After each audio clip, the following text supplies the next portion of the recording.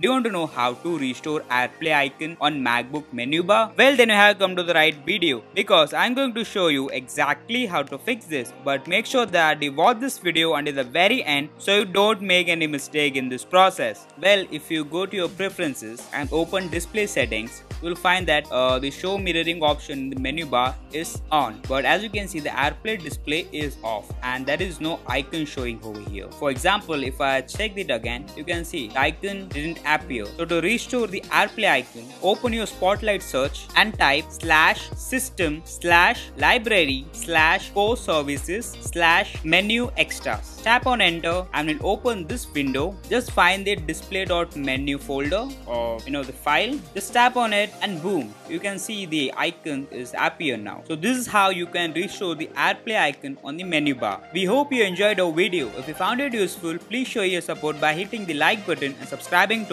channel. If you have any questions or comments about the topic we covered today, we'd love to hear from you in the comment section below. Thank you for watching and we hope you have a fantastic day.